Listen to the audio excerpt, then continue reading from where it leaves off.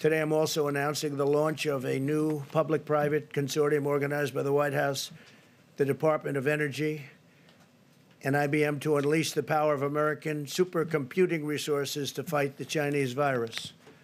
The following leaders from private industries, academia, and government will be contributing. And uh, they're going to be contributing a lot of different things, but compute, primarily computing resources to help researchers discover new treatments and vaccines. They'll be working along with uh, NIH and all of the people that are working on this.